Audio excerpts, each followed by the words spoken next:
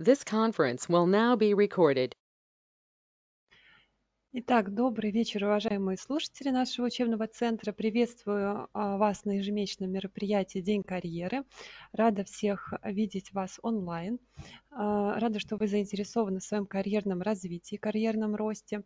Спасибо, что присоединились к нам. И также приветствую тех, кто посмотрит нас в записи. А, учебный центр «Специалист» – крупнейший провайдер образовательных услуг. Мы уже 28 лет обучаем, помогаем нашим слушателям повышать профессиональный уровень и обучаем новый, новым профессиям. Меня зовут Белова Ольга, я менеджер по трудоустройству учебного центра «Специалист». И сегодня а, на Дне открытых дверей у нас планируется выступление работодателей, которые расскажут вам о том, а, кого они готовы пригласить на работу, а также о требованиям требованиям а, к специалисту. Также сегодня с нами Ольга Белая, руководитель продукта Хабр Карьера. Она расскажет об актуальных зарплатах в IT в разных специализациях. Сейчас я кратко вам расскажу вначале о программе трудоустройства выпускником, потом передам слово нашим спикерам. Итак, в учебном центре специалист за счет уникального сочетания бауманской методики преподавания и современных технологий проведения обучения мы гарантируем вам стопроцентное качество образования. А, мы также понимаем, как важно поддержать начинающих специалистов на старте их становления в профессии, и мы организовали а, ряд мероприятий, которые поддержат а, вас на вашем пути к работе мечты. Первое из таких мероприятий – это практика ориентированность а, всех наших курсов, потому что сейчас нет а, эм, потребности такой а, просто получать теоретические знания. Важно именно получать навыки, и когда мы разрабатываем нашу программу, мы обязательно это учитываем и ориентируемся на запросы рынка. Следующий шаг, который вы можете сделать а, для э, развития да, вас как профессионала, это составить правильное резюме, сопроводительное письмо, вообще понять, как правильно искать работу. Для этого у нас есть а, курс «Успешный поиск работы и, и трудоустройство в период кризиса и карантина», а, на котором наш педагог Светлышева Ольга Юрьевна рассказывает, да, как сориентироваться на современном рынке труда, подготовиться к встрече, встрече с работодателем. И я вас приглашаю 20 февраля и 10 марта, ближайшие эм, эм, без, такие бесплатные э, уроки будут. Этот курс живой, он э, предполагает, что вы можете задавать вопросы по вашей конкретной теме, целый день вот э, разбираться а, с технологией трудоустройства. Для тех, у кого осталось, э, останутся после этого курса вопросы, можете записываться мне, ко мне на консультацию. Я обязательно ссылочку пришлю на форму, по которой можно записаться в чат немного позже. И мы в индивидуальном порядке разберем с вами, какие как подкорректировать резюме, а, какие шаги еще предпринять да, вот в вашем а, индивидуальном случае. И а, одно из следующих мероприятий – это вакансии от наших партнеров. Наши партнеры – это компании, которые обучают у нас своих работников, и они уже убедились на практике, что мы учим хорошо и качественно и готовы принимать после обучения а, наших, ну, отдавать приоритет нашим выпускникам. Эти вакансии мы публикуем в Телеграм-канале, в группе ВК, в группе в Фейсбуке. Пожалуйста, присоединяйтесь. Также обратите внимание, когда вам приходит рассылка а, на e-mail, также вакансии мы э, там размещаем. А, ссылки на эти группы я также обязательно чуть позже размещу в чате.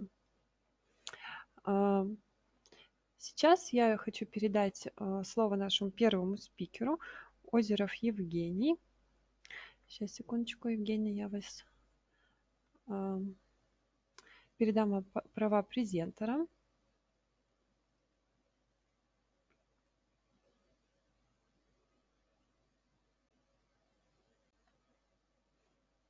Угу. передала. Вас не слышно сейчас. Сейчас, секунду, я вас... А... Так, сейчас. Попробуйте микрофон включить.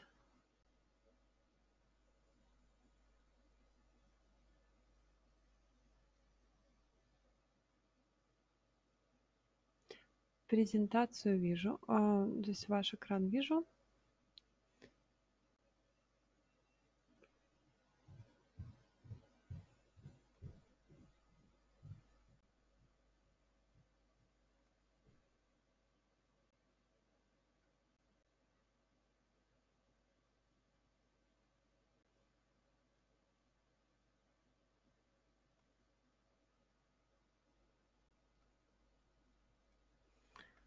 Еще раз.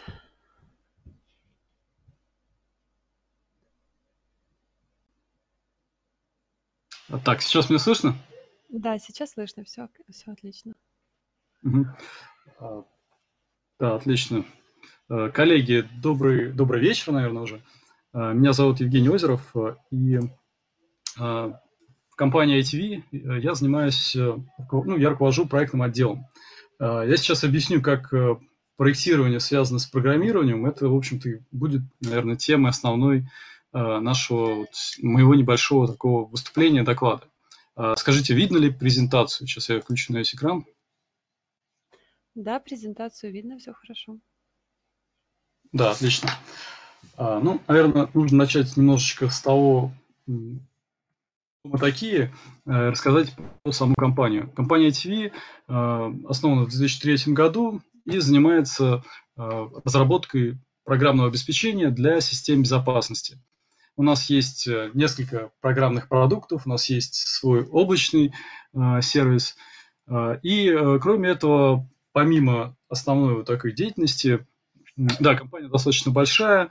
У нас есть ряд офисов как в России, так и за рубежом. Вот я специально ради нашей встречи взял, посчитал, сколько у нас сотрудников. Оказалось уже больше 5800 сотрудников по всему миру. А, ну и, в общем-то, мы являемся, наверное, лидерами а, в своем сегменте в программном обеспечении для систем безопасности в России, ну и где-то, наверное, на четвертом месте в мире. А, то есть мы достаточно крупная, крупная известная компания. Мы сотрудничаем с рядом тоже крупных компаний, таких как, например, Huawei, том числе э, сотрудничаем именно в таком симбиозе. То есть мы разрабатываем софт, э, коллеги из там, Huawei, они разрабатывают специализированные сервера для того, чтобы мы могли создать какой-то э, новый такой продукт интересный.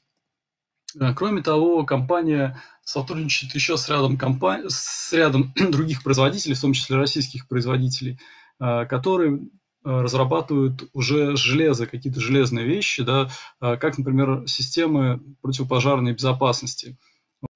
Одна из таких компаний – это компания Sigma, э, и с некоторого времени, получается, уже три, наверное, года назад, мы стали с ними сотрудничать, и помимо нашего основного продукта, нашего софта, мы стали продавать оборудование для противопожарных систем.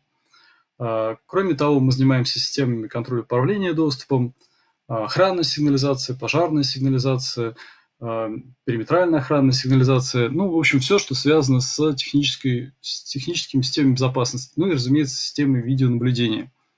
Поэтому в связи с тем, что, ну, помимо, скажем так, софта мы стали еще и продавать оборудование, у нас в компании появился проектный отдел. И вот для как раз проектного отдела нам Э, необходим, э, помимо проектировщиков, нам необходим э, ряд других специалистов.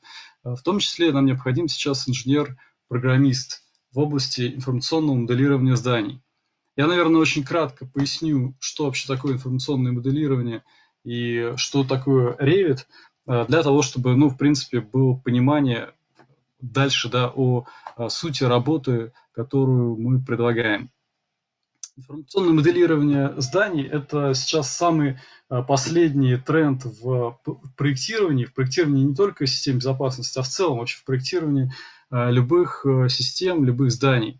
В отличие от классического подхода к проектированию, ну, как можно, наверное, представить, может быть, кто-то видел в фильмах или на каких-то картинках, когда люди чертили на кульманах такие большие листы. Может быть, кто-то из вас, вот поскольку мы все-таки говорим про э, Бауманский университет, наверняка э, кто-то из вас э, сталкивался в своей э, учебе, да, может быть, в других вузах также, э, с инженерной графикой, с начертательной геометрией, вот со всеми этими замечательными предметами, наверное, представляет, что такое кульман и как в целом создаются чертежи.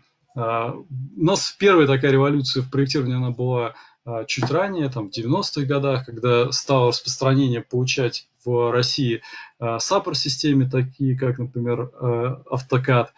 И сейчас он еще занимает довольно большую долю рынка.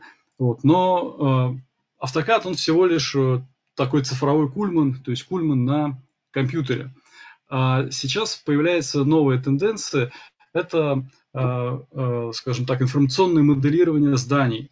Э, это когда мы не просто в итогу, по, по итогу проектирования получаем комплект документов, а мы создаем некую такую базу данных о здании, о сооружении, о его всем инженерном наполнении этого здания, с которой в дальнейшем мы можем как-то работать. То есть мы можем эту информацию э, в том числе из нее создавать э, ту самую проектную рабочую документацию, которую делали раньше, но это будет всего лишь один из отчетов. А помимо этого мы можем э, оттуда извлекать достаточно много различных других э, данных, э, э, как, так, такие как стоимость э, создания этой системы, или этого здания, э, такие как план график работ, э, мы сможем впоследствии эксплуатировать здание гораздо более эффективно, имея вот такую полную базу данных, актуальную о зданиях.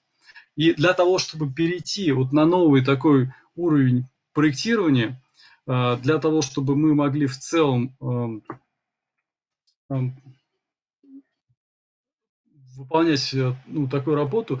А, если раньше нам требовались только проектировщики, и, в общем-то, этого было достаточно, а, то сейчас э, а, ну, само программное обеспечение становится более сложным, с одной стороны. С другой стороны, оно позволяет гораздо больше автоматизировать рутинных операций проектировщиков.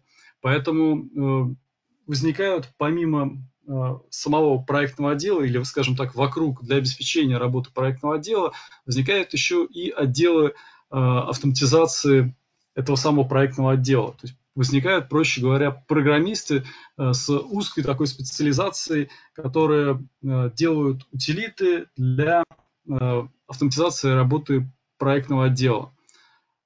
И у нас уже есть такие люди в штате, у нас есть э, очень опытные специалисты, но э, поскольку проектный отдел растет, его задача, все, у него все больше и больше задач, нам нужно э, как можно меньше времени тратить на э, проектирование э, и получать при этом качественную документацию.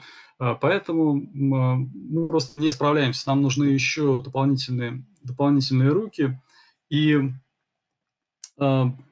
Поэтому, собственно, у нас появилась новая вот эта вакансия.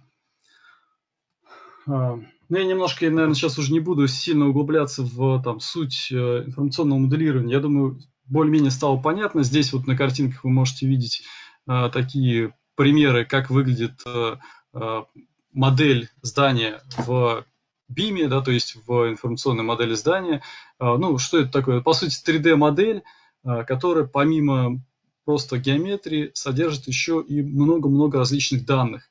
А какие конкретные данные мы будем а, запихивать, скажем так, в эту модель, зависит от а, так называемой beam use, то есть от того, каким образом мы хотим использовать эту информационную модель. Нужно ли нам просто выпустить документацию, или мы хотим, как многие сейчас, например, застройщики в Москве, хотим по этой, по этой информационной модели Э, получать календарный график строительства, получать э, все э, сметы, локальные сметы на различные участки стройки, да, и закрывать эти объемы и прям фиксировать их непосредственно в таком цифровом двойнике этого здания. А, и в дальнейшем, соответственно, получить актуальную актуальную модель, по которой можно будет эксплуатировать это здание более эффективно, чем, ну, скажем, без этой модели, чем традиционными способами. Кроме того, государство нас очень активно толкает в, в эту же сферу и принимает достаточно много нормативных документов, которые для части объектов, в основном финансируемых из госбюджета, э, регламентирует то, что мы должны как раз использовать информационное моделирование.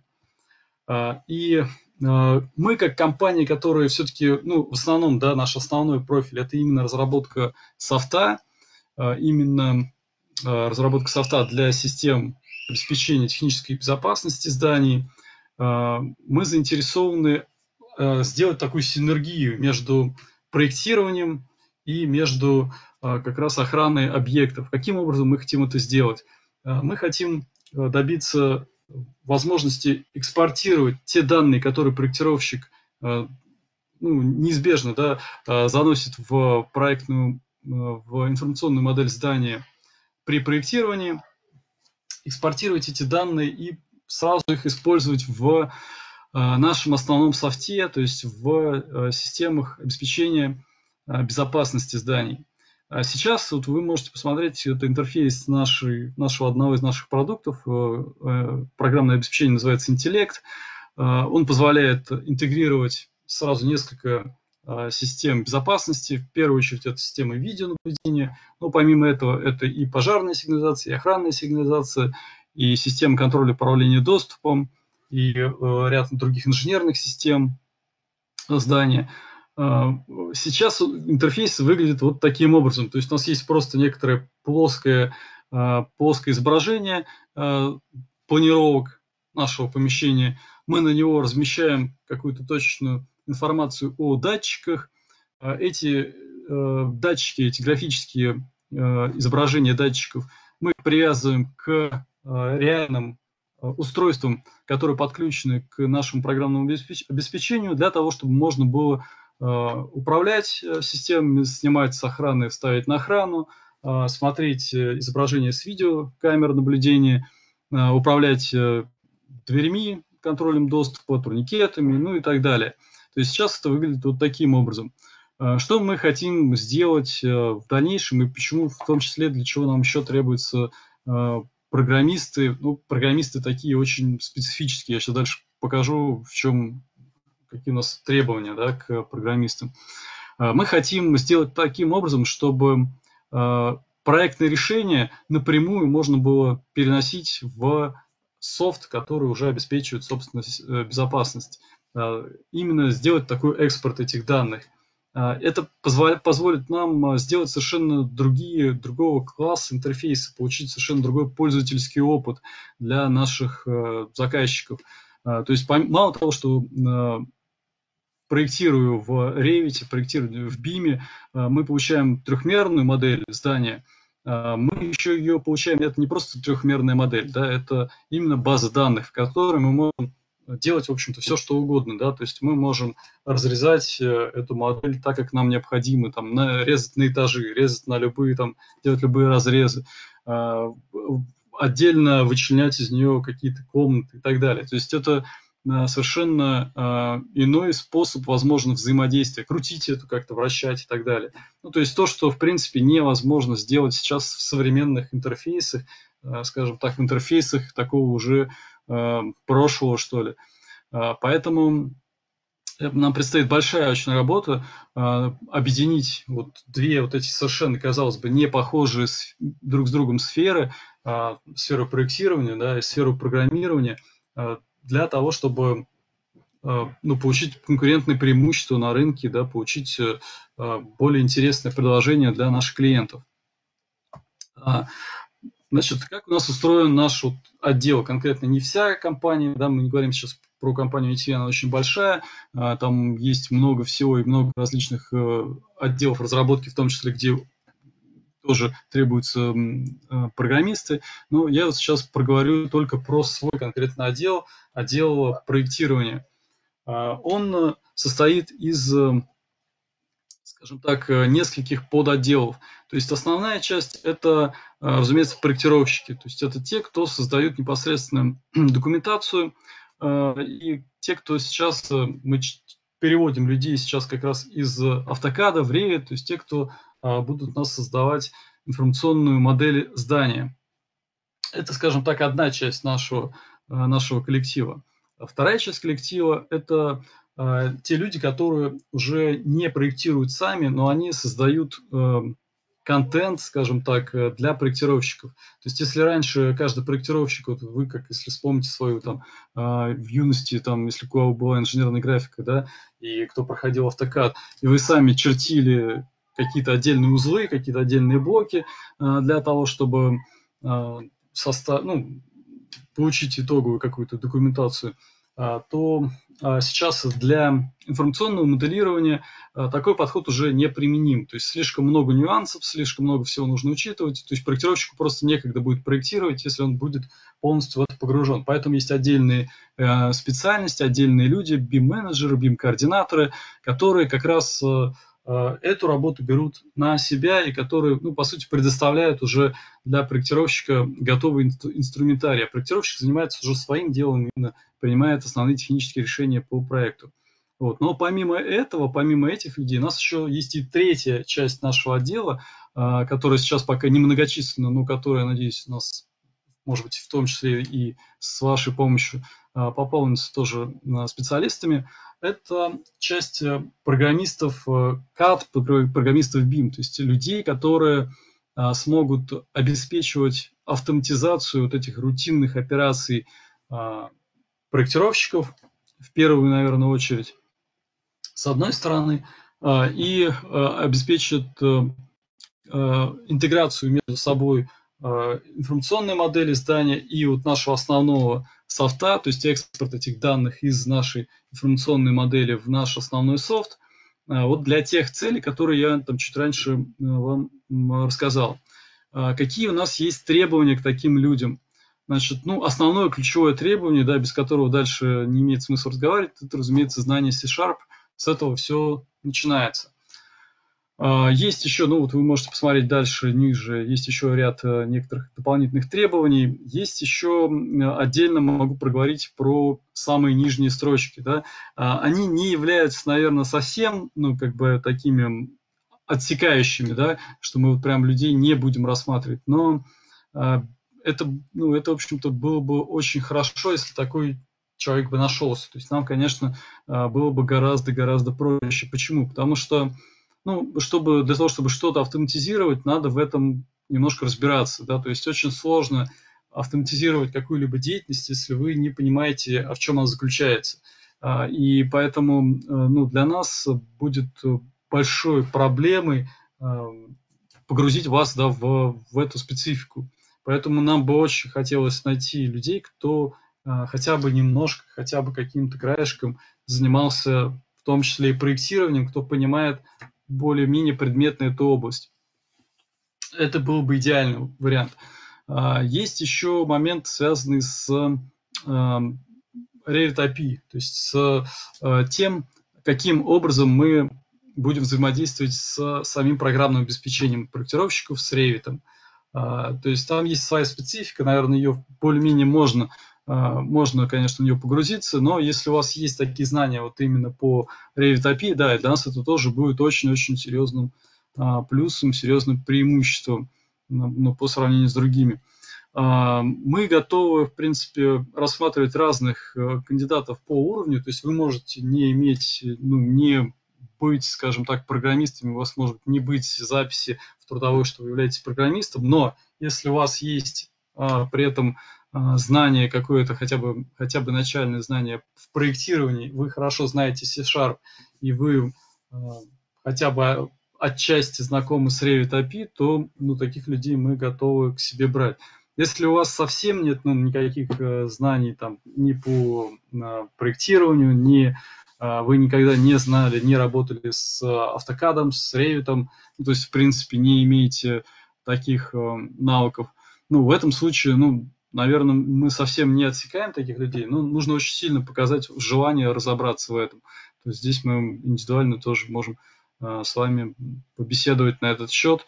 Вот. И э, у нас есть еще такая интересная практика. Э, у нас мы набираем периодически, в том числе там в регионах, проектировщиков. И у нас всегда для проектировщиков открыта дорога, дорога в программисты. То есть проектировщик, который помимо ну, постепенно, да, совершенствуя свои знания именно в проектной области, но который параллельно осваивает C-Sharp, это для нас, наверное, идеальный вообще, а, идеальный человек, которого мы из которого можем точно вырасти, вырастить а, программиста в области BIM.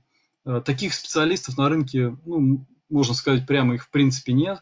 То есть это буквально людей можно пересчитать, которые ну, на хорошем уровне способны работать в этой области. Их буквально по пальцам, наверное, чуть ли не одной руки. И действительно за них сейчас там прям идет э, охота. То есть вот э, сейчас есть возможность, у меня есть такой как раз человек, который сейчас э, и возглавляет вот этот подотдел внутри проектного отдела, который занимается как раз созданием утилит и а, созданием как раз вот этой интеграции между информационным моделированием здания и, а, значит, системами управления технической безопасности. Вот, можно много большой опыт получить, если, если к нам прийти и, а, собственно, этим заниматься. Вот, но требуется определенная, определенная квалификация. Наверное, все. Это все, что я хотел рассказать. Спасибо. Евгений, спасибо. Если можно, продублируйте, пожалуйста, в чат ваши контакты. Коллеги, есть, Хорошо. уважаемые слушатели, есть ли у вас вопросы к Евгению? Или все понятно и можем двигаться дальше? Так, пока передаем. А, Илья спрашивает, удаленная ли работа? Да, в принципе, для нас э, не важно ваше местоположение, а, локация это особого значения не имеет. У нас в целом, у нас э, и проектная сама команда, она э, разделена там на два офиса. Там часть людей сидят в Самаре, часть людей сидят вообще в Нальчике. И там программист мой сейчас он в Подмосковье, я Москве, то есть все по разным углам. Можно работать в офисе, у нас много офисов, можно работать из дома, вообще как удобнее, не имеет значения. Хорошо. Я думаю, что э, интересно было бы как на общем дне карьеры рассказать, э, если нужны вот именно э, развитие да, проектировщиков в э, программисты. Может быть, там кого-то можно будет найти. Хорошо. А, спасибо большое. Спасибо. Тогда переходим к следующей компании. А, Александр Усков, а, программный продукт. Презентацию вашу видим. Вас тоже. Да, сейчас, коллеги. Слышно? Все хорошо? Видно? Да, слышно, да, прекрасно. Отлично. Так, ну, еще раз, еще раз э, приветствую коллеги, еще раз приветствую слушатели. А, интересный формат, спасибо большое за приглашение.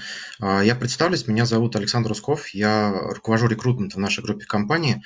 А, так как у нас регламент по времени достаточно ограничен, я постараюсь э, рассказать достаточно сжато, потому что рассказывать о нас, о наших проектах можно очень долго. Вот я лучше оставлю время на вопросы и постараюсь на них, на все на них ответить. А, если говорить о нашей компании, группа компаний «Программный продукт» э, на рынке существует с 2002 года. А, компания большая, нас по численности около 800 человек. А, мы занимаемся разработкой программного обеспечения, заказной разработкой, на этом делать ну, особый акцент.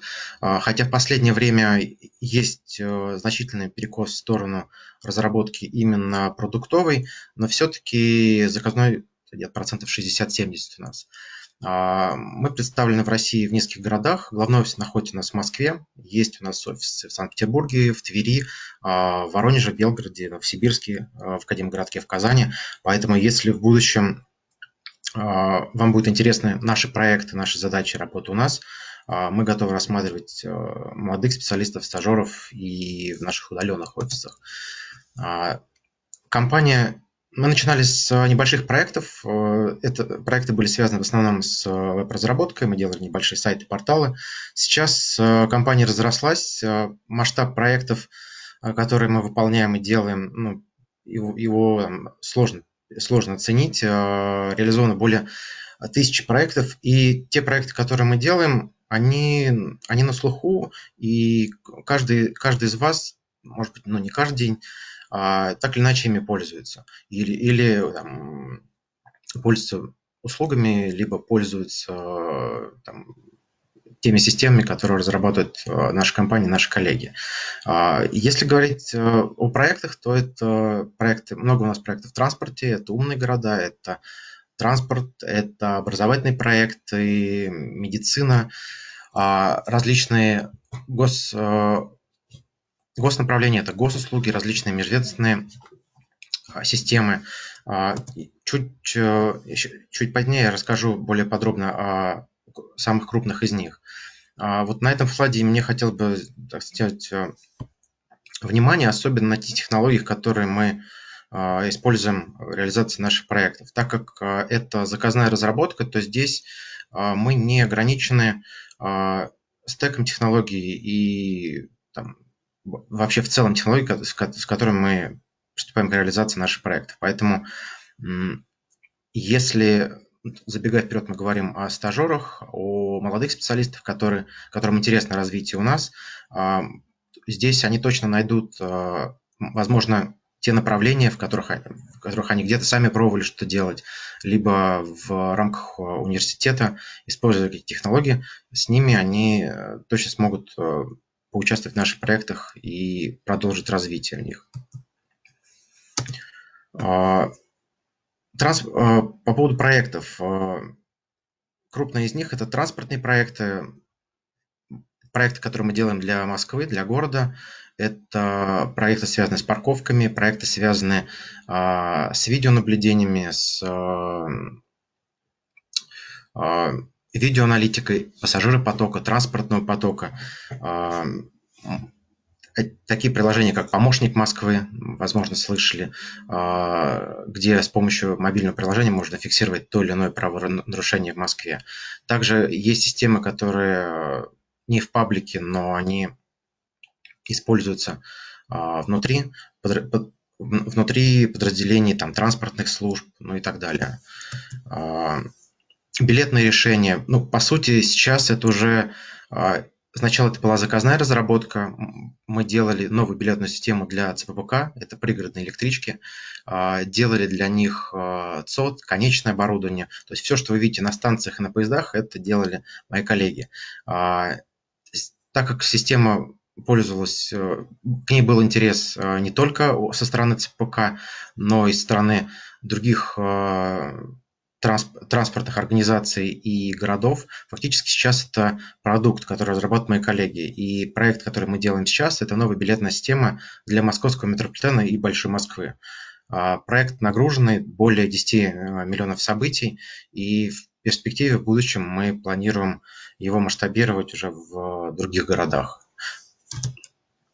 А, проекты в образовательной сфере – это все, что связано с ЕГЭ, все, что связано с государственным, единым государственным экзаменом, все, что связано с государственной итоговой аттестацией, а, реализовывает один из наших департаментов. Мы сопровождаем а, сдачу, мы сопровождаем сдачу экзаменов в России, за ее пределами, также системы, которые отвечают за статистику, за сбор данных, за а, различные апелляции, аттестации и так далее. Все реализовано в рамках нашей системы образования. А, также есть медицинские проекты. Один из них э, – это станция, а, это единая информационная система доноров. А, изначально в 2004 году это был небольшой R&D проект в рамках станции переливания крови в Москве. Сейчас система разрослась, она работает в почти во всех субъектах Российской Федерации, и мониторит, э, администрирует все кровопроизводство в России, в том числе и компоненты крови. Мы активно участвовали э, в регистрации и представлении биоматериалов плазмы в текущей ситуации, когда к нам обратились э, медучреждения с ковидом. Также активно она использовалась для этих целей. Перейду тогда уже к основному, к программам э, стажировок э, для молодых специалистов, потому что последние полтора-два года э, мы в компании взяли вектор на развитие молодых специалистов, потому что мы, мы прекрасно понимаем, что рынок перегрет, рынок выбрал, и как коллега говорил, спикер до этого, реально, реально специалистов на рынке, ну, их просто нет. Мы прекрасно это понимаем, поэтому активно сотрудничаем и с вузами, и активно привлекаем к себе на работу, на стажировки молодых специалистов.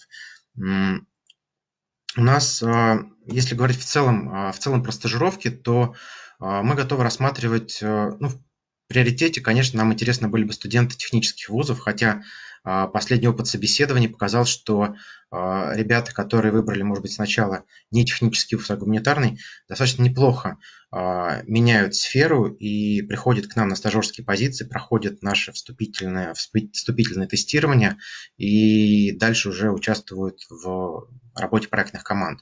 По поводу стажировки. У нас ну, основные моменты, которые хотел проговорить. Во-первых, это а, достаточно короткий цикл собеседования. У нас нет там 10 там, итераций с различными департаментами, службами. Как правило, это одно-два интервью, а, это понимание уровня кандидата, это понимание и желание а, сферы, в какой он готов развиваться в рамках компании, и возможность э, его работать минимум 20 часов в неделю.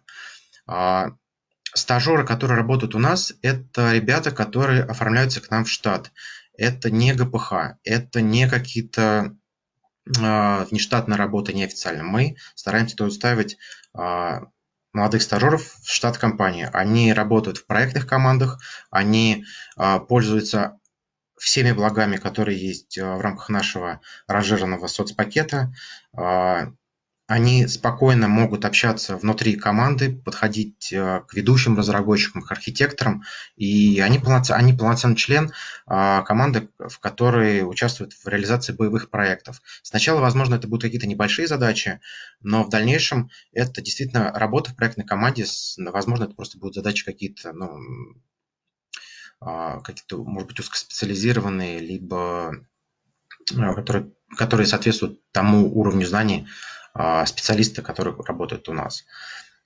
А, и по вакансиям. А, все актуальные вакансии, в том числе стажерские, вы можете найти на нашей странице на HeadHunter, также на сайте job.ppr.ru. По офису и по нашей внутренней корпоративной культуре я говорил уже про ранжированный соцпа соцпакет. Э, сотруднику, молодому специалисту также, также будут доступны и э, ДМС, и э, там, йога в офисе, зарядка в офисе, различные там, корпоративные мероприятия, в том числе обучение внутреннее, внешнее. Э, внутреннее обучение у нас реализовано в рамках нашего HR-департамента, где э, мы устраиваем различные бизнес-игры, тренинги, тематические семинары, либо, когда мы говорим о внешнем обучении, когда мы привлекаем внешних провайдеров, а, сертифицируем наших специалистов, мы дружим с PM-экспертом, а, который читает курсы, и доступ к ним доступен и стажерам в том числе. Также мы активно проводим внутри а, корпоративные турниры по шахматам, по настольному теннису, по киберспорту, по волейболу. У нас э, в компании есть э, врач в офисе, штатный психолог. Мы проводим вакцинации, диспансеризации сотрудников. Э, в текущей ситуации мы еж... раз в две недели тестируем всех наших, ну, всех сотрудников, которые возвращаются в офис на антитела. Поэтому мы максимально заботимся о тех коллегах, которые вокруг нас. Вот. А чуть больше информации вы сможете найти а, нас в соцсетях, на, в Инстаграме, а, в Фейсбуке, на Ютубе, ВКонтакте. Спасибо большое. Александр, достаточно, а... достаточно быстро пробеж, пробежался, да, наверное, готов ответить на вопросы. Да, у меня вопрос. А у вас стажировки, они оплачиваемые или неоплачиваемые? Да, стажировки у нас оплачены. Мало, мало того, что это официальное оформление в штат компании. А, и ну, я могу даже примерно сориентировать по уровню а, зарплаты, если мы говорим про ребят, которые могут работать а, ну, 25-30 часов в неделю, то в среднем это 40-50 тысяч плюс. Угу. Отлично. А, уважаемые слушатели, есть ли у вас еще вопросы, пожалуйста, а, задавайте. Так, вопросов сейчас не вижу. У меня к вам просьба, а, Александр, ваши контакты скопировать в чат, чтобы а, слушатели могли тоже себе взять. Вот. Да, я вижу, спрашивают про удаленную, про удаленную работу. А, Ну, ну, в текущем у нас есть э, департаменты в компании, в которых э, ну, удаленная работа, и она, ну, допустим, если мы говорим про разработку, а, там, про мобильную разработку, где распределенная команда, то да, такие варианты мы точно готовы предлагать. А, В целом сейчас мы активно рассматриваем возможность гибридного графика для сотрудников, поэтому точно о стопроцентной удаленке я говорить не могу, но о варианте там, частичной занятости в офисе и дома, да, это точно обсуждается сейчас. Мгм. Так, А, хорошо. Да, Илья, вот я вижу, вы спрашиваете по поводу часть недели, либо это часть, э, ну, ч- часть времени недели, либо там мобильная разработка у нас вообще работает полностью удаленно. А, И, ну, опять же, это, наверное, мои наблюдения. Вот за тот, за тот год ковида, который нас настиг, я могу с уверенностью сказать, что наши ребята достаточно хорошо себя проявили. А У руководителей, у директоров департамента всегда были опасения, а как же вот удаленная работа, а как же будут работать люди. А Люди работали даже иногда и больше, и даже в каких-то моментах лучше, качественнее, чем все. Конечно, это сложно сейчас сравнивать, но моменты такие есть. Мгм. А, Так, какие требования к специалистам Big Data и машинного обучения? А, По, если говорить про эти позиции, то а, мы готовы рассматривать вообще выпускников вуза, у которых даже были там какие-то, может быть, либо тестовые задания, либо какие-то практические свои работы. То есть, ну, почти с минимальным уровнем знаний. Мы готовы учить внутри у себя. В Твери у вас нет вакансий? А, В Твери вакансии есть. э, Это PHP разработка и фронт, фронтенд разработка есть. Мгм. Отлично. Ну, а, уважаемые слушатели, я предлагаю, если остались вопросы, а, Евгению оставить тогда свои контакты, чтобы можно было бы уже непосредственно уточнить какие-то моменты. А, Евгений, я вас благодарю за выступление. Очень интересное направление. Я думаю, что информацию по данным стажировкам мы обязательно опубликуем еще у нас в каналах, Мгм. чтобы больше слушателей ознакомилось. А, Следующий спикер Ольга Белая. Ольга. можно Да, здравствуйте, коллеги. Мгм. Так, презентацию вашу сейчас я включаю. Да, спасибо. Секунду.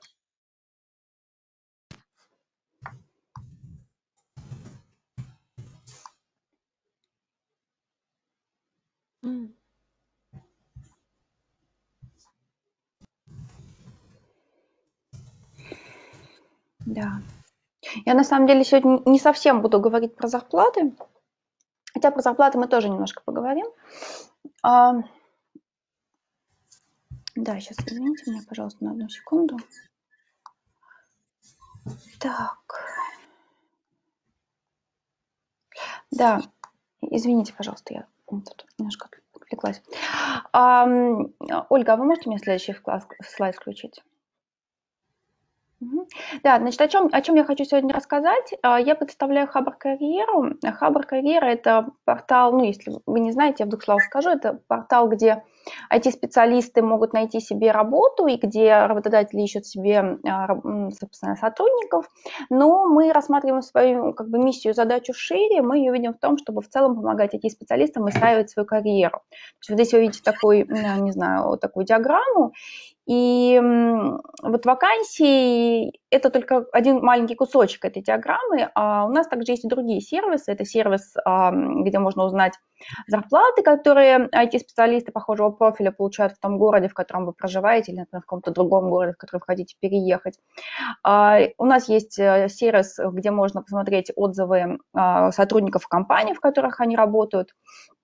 Есть сервисы, где можно посмотреть разную аналитику об IT-рынке а, и так далее. Вот. И как раз поскольку мы в целом строим строим сервис наш таким образом, чтобы помогать IT-специалистам в их э, карьере, в построении этой карьеры, в развитии и так далее. Вот как раз эм, об этом я сегодня не хотела немножко поговорить. Вот, и рассказать. А, Ольга, можно следующий слайд, да? Да, а, и следующий сразу. А, смотрите, я буквально сегодня читала такую статью, а, которая будет таким эпиграфом к, нашему, к моему выступлению сегодня. И она о том, что в России колоссальный дефицит IT-кадров. И вот э, коллеги, которые выступали до меня, они тоже, эту мысль, она так проходила такой красной нитью через весь их доклад о том, что а, дефицит этих специалистов на рынке, они готовы развивать начинающих специалистов сами, потому что сложно найти опытных специалистов под потребности компании, потому что, ну вот как мы здесь видим, а, до миллиона IT-специалистов а, в разных сферах не хватает у нас на рынке России. При этом ну, мы понимаем, что вузы не могут обеспечить полную потребность в IT-специалистах, потому что просто недостаточно мест. И даже все те прекрасные заведения, как а, специалист, который любезно позвал меня сегодня, да, они тоже, в общем, не могут вот эту, этот дефицит полностью закрыть. При этом а, есть некоторый барьер для начинающих IT-специалистов при входе на рынок, потому что мы понимаем, что первую работу найти бывает не так просто. И как раз вот давайте сегодня немножко поговорим об этом, о том, почему, а, ну, как бы, какие проблемы возникают, что мы можем с ними сделать, как найти свою первую работу в IT. Вот, Ольга, включите, пожалуйста, следующий слайд. Вот, мы проводили исследование, как я уже сказала, у нас есть сервисы, которые занимаются аналитикой, а, в рамках которой мы занимаемся аналитикой, проводим исследования, собираем а, там, несколько тысяч респондентов с IT-рынка а, по разным темам, которые нас интересуют, которые кажутся нам актуальными. И в частности, вот мы опрашивали представителей разных IT-компаний, какие основные риски они видят в работе с джунами. Вот. И мне кажется, что это, ну, как бы нам с вами это важно понимать, потому что ну, вы можете немножко встать на позицию работодателя, понять, какие у него есть опасения и как вы можете их снимать, если вы как бы хотите устроиться в эту компанию работать. Да? То есть э, самое большое опасение, которое отмечает больше половины компаний, это то, что сложно оценить потенциал. Да, когда э, на собеседование или там э, на какое-то интервью там, приходит джуниор-специалист, довольно сложно понять, как бы, что из него вырастет. А второй по величине риск – это то, что сложно доверять задачи, рисковать общим проектом, потому что тоже опыт такого сотрудника минимален, и ну, риск допустить э, ошибку какую-то выше, чем у опытных сотрудников, да, и поэтому здесь возникает некоторое опасение. Достаточно высокие издержки по адаптации. На самом деле, действительно, обучить джуниор-специалиста довольно дорого, да, на это надо потратить э, силы и время более опытных специалистов, и это прямо может быть чувствительным для компании. Велика вероятность ухода такого человека в другую компанию, то есть он немножко обучится, освоится, приобретет опыт и пойдет искать более как бы, ну, лучшее, интересное, денежное, какое-то еще, по каким-то еще параметрам, лучшее для него место работы. Вот. Ну и вот это такие, мы видим, что вот это основные такие опасения, которые э, у там, трети и более э, процентов компаний присутствуют. Вот. А что мы можем как бы сделать, чтобы, э, что, что начинающий специалист может сделать, чтобы эти опасения какие-то компании снять? Ольга, можно следующий слайд?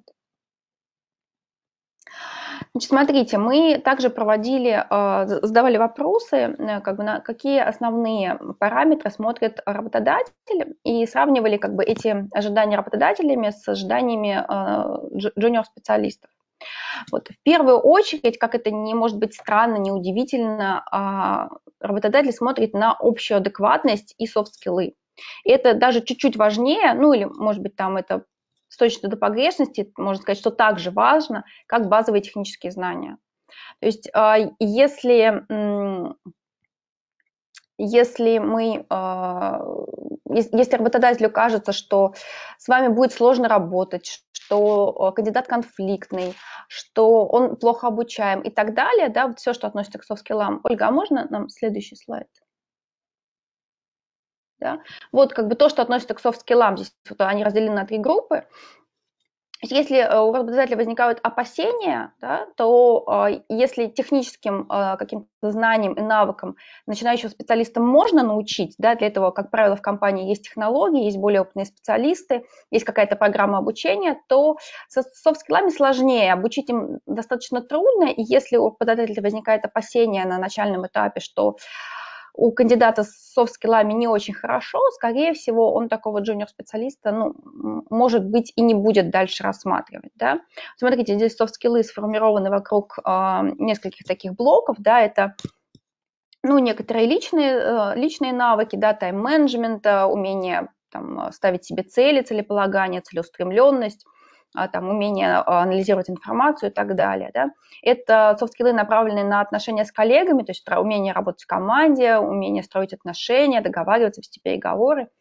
И э, умение, ну, как бы, следующий уровень, да, это тоже работа в команде, но это когда, когда вы уже можете организовывать как-то людей, да, не только участвовать с ними в горизонтальных отношениях, но и организовывать их, ставить цели, планировать, ставить задачи и так далее. То есть вот эти софт-скиллы, все они, они как бы, э, то есть мы тоже как раз проводили опрос э, среди IT-компаний, спрашивали, какие софт-скиллы наиболее важны. И вот вы видите вот эти, э, ну, как бы три облака скиллов, и чем крупнее здесь шрифт, тем, ну, как бы наибольшую важность этого э, софт-навыка отмечали э, представители IT-компаний. Вот, то есть вот Здесь можно посмотреть, и если вы чувствуете какие-то у себя, ну, как бы пробелы, может быть, да, хотя довольно трудно оценить в отношении себя, но это то, где имеет смысл себя прокачивать, чтобы э, преуспеть там, в своем первом, втором и так далее трудоустройстве. Ольга, давайте следующий слайд. Следующие, как бы, это базовые технические знания. То есть э, понятно, что может быть, у джуниор-специалиста нет еще каких-то очень глубоких знаний, но э, эти базовые технические знания желательно, чтобы вы могли подтвердить своим каким-то реальным опытом, опытом учебных проектов, стажировок, собственных проектов, там, пет-проектов и так далее. Ольга, а можно следующий слайд? Смотрите, мы спрашивали тоже у начинающих специалистов, а, видите, вот как раз он, проводили опрос, 2000 а, а, начинающих специалистов попросили, спрашивали их, участвовали ли они во время обучения в стажировках, совместных программах с будущими работодателями. И только порядка 18% отмечают такой опыт. И вот это очень плохо, да, то есть это большая проблема, потому что те люди, которые, ну, соответственно, а 80% не участвовали, и это большая проблема, потому что те специалисты, которые, у которых был такой опыт, им есть что показать, чем подтвердить свои базовые навыки. Вот те проекты, в которых я участвовал, вот тот код, который я разрабатывал. То есть обращайте, пожалуйста, на это внимание на стадии обучения, на стадии э, там, когда, когда вы идете на какое-то собеседование, чтобы вы могли что-то показать, что вы раз, действительно разрабатывали какой-то реальный опыт, подтвердить свои технические навыки. Ольга, можно следующий слайд? Три, э, ну, про тестовое задание довольно понятно, что джуниор-специалисту, скорее всего, дадут какое-то тестовое задание, и важно его хорошо выполнить. Кажется, про это говорить довольно, ну, довольно очевидная вещь. Но вот хочу еще обратить ваше внимание на наличие профильного образования. То есть, с одной стороны, только 25% отмечают, что профильное образование для них важно, но, тем не менее, 25% это, ну, в общем, тоже немало. И здесь, э, Ольга, следующий слайд можно? Ой, там что-то следующий. Да, и здесь, смотрите, я хочу обратить внимание ваше на то, что 35% специалистов отмечали, что наличие основного образования им помогало при трудоустройстве. То есть это тоже довольно большая цифра, 35%. Вот, поэтому да, несмотря на то, что в последнее время в IT есть такая как бы, тенденция, потому что образование это не так важно, а можно быть хорошим специалистом без образования, работодатели на образование не смотрят, ну, это относительно так, да, все-таки смотрят, все-таки это бывает важно. И вот здесь тоже работодатели отмечают, что были такие случаи, 15% работодателей отмечают, что были случаи, когда наличие основного образования играло значительную роль для решения пригласить сотрудника на работу. Давайте следующий слайд. Вот, но, но с другой стороны, тоже как бы, если ваше образование еще не закончено, вы тоже можете не теряться совершенно, все равно искать работу, потому что, как мы видим, только 33% специалистов а, устраивались на свою первую работу, имея законченное высшее образование да, то есть остальные устраивались, будучи студентами, очного отделения, заочного отделения, имея какое-то среднее образование и так далее. Вот только 33, а, вот этот голубенький кусочек бублика, только эти специалисты устраивались, имея законченное высшее образование. И также мы видим, что вот разложенные по разным специализациям справа, мы видим, что а, только ну, как бы наименьшее значение в, в игровой разработке имеет. Ну и в целом вот мы видим, что э, растет значимость высшего образования к таким более гуманитарным специализациям в IT, там, к менеджменту, э, к ну, аналитику сложно назвать гуманитарным, гуманитарной такой частью IT, но тем не менее, вот туда как бы там есть некоторый рост значимости высшего образования а, при устройстве на первую работу, а специалисты, которые там работают, full-stack специалисты, мобильная разработка, бэкэнд-разработка, для них все, ну, там мы видим значительную часть людей, которые устраивались, не имея законченного высшего образования профильного. Ольга, можно следующий слайд? Вот, еще как бы хочу отметить то, что работодатель может смотреть на ваши учебные и личные достижения. То есть даже если у вас нет опыта, ваши учебные и личные достижения, скорее даже так, поскольку у вас нет опыта еще, учебные и личные достижения, они являются некоторой заменой опыта. Можно следующий слайд? И здесь также э, важно, что как некоторый э, знак качества да, для, э, для вас, для, вашего, для вот этих ваших личных и профессиональных достижений, может быть э, ваш опыт участия в тех или иных IT-сообществах. Да, вот мы здесь видим, что тоже 27% специалистов, 27% представителей компании отмечали, что у них был опыт, когда как бы были такие случаи, когда а, вот это участие в тех или иных IT-сообществах играло некоторую роль при трудоустройстве. Вот. А, мы это, мы в Фрабр карьере называем это IT-сообщество, но это э, сервисы, которые используют IT, массово используют IT-специалисты. Вот мы видим, что наибольшее значение для работодателей имеет GitHub, да, я думаю, что вы знаете. GitHub – это сервис, где а, специалисты совместно работают над проектами, хранят свои исходные коды, работают над, над open source проектами. То есть если вы в течение вашего обучения, например, приобретете опыт какого-то участия в open source проекте, сделаете какой-то contribution в этот, например, open source проект, или на GitHub заведете какой-то свой учебный проект или какой-то, не знаю, личный проект, pet, pet project, то, что называется, да, и вы сможете показать это работодателю, это будет значимым вкладом как бы в ваше резюме, да, в, отсутствии опыта какой-то промышленной коммерческой разработки, это будет заменителем этого опыта. Также работодатели отмечают, что э, им нравится, ну, как бы для них э, имеет значение э, и другие как бы вот эти сервисы, которые используют специалисты. В частности, это Хабр Хабр, и сейчас он называется просто Хабр, мы уже переименовались, и Stack Overflow, да, то есть те сервисы, где соискатели тоже делятся своим личным и профессиональным опытом пишут статьи, отвечают на вопросы и так далее. То есть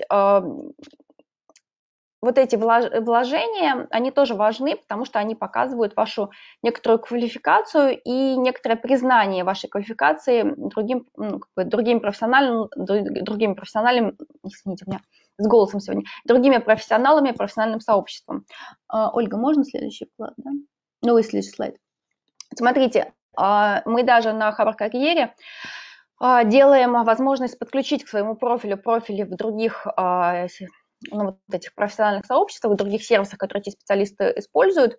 И вот а, видите, вот это слайд, а, скриншот из профиля некоторого IT-специалиста. Мы видим, что у него есть здесь а, присутствие на GitHub, присутствие на Хабре и присутствие, ну, это еще старое название, на тостере, сейчас он называется Хабр Q&A.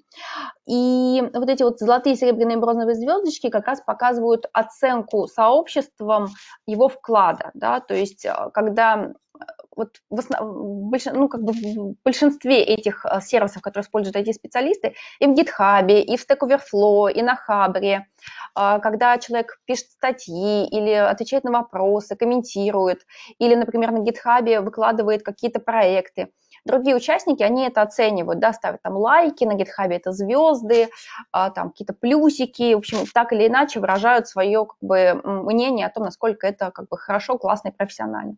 Вот и здесь мы это в некотором таком агрегированном виде выводим.